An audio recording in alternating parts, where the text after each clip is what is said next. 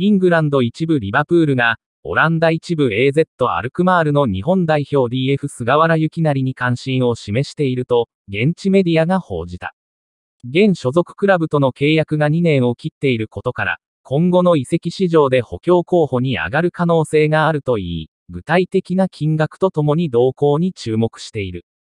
画像、マナーすらない、韓国 MF、日本代表が顔面流血の、ラフプレー、お母国批判、国民が激怒、23歳の菅原は2019年6月に名古屋グランパスから AZ へ期限付き移籍加入。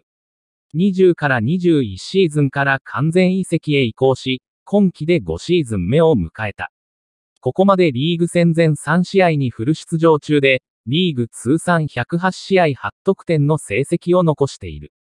右サイドバックやセンターバックもこなせる実力が評価され、日本代表では今年3月のウルグアイ戦、1から1で初先発を飾ってから継続的に招集。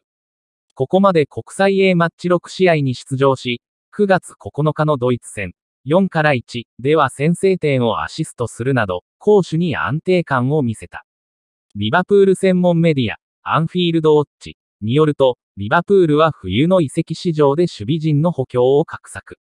補強候補の一人として菅原に関心を寄せており、記事では2000万ユーロ、約31億円で獲得できる可能性がある、と伝えられ、AZ と25年6月末まで契約を結ぶ菅原の動向に注目が集まる。